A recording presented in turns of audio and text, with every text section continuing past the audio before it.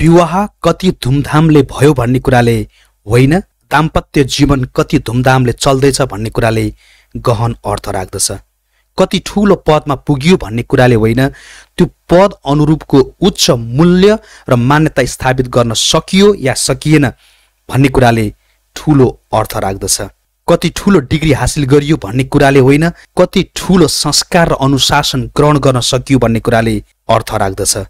कति धेरै सम्पत्ति कमायो भन्ने कुराले होइन त्यो सम्पत्तिलाई कति मूल्यवान ठाउँमा खर्च गरियो भन्ने कुराले ठुलो अर्थ राख्दछ।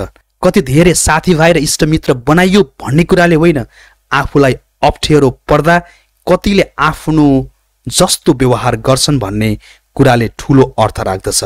कति महँगो र उच्च जीवनशैली बिताइँदैछ भन्ने कुराले त्यति ठुलो अर्थ राख्दैन जति ठुलो अर्थ मानवीय र अर्थपूर्ण जीवन बाँचिएको छ कि छैन भन्ने कुराले राख्छ। मूल्य शरीरको होइन सोचको हुन्छ खानाको होइन भोकको हुन्छ बेडको होइन निद्राको हुन्छ।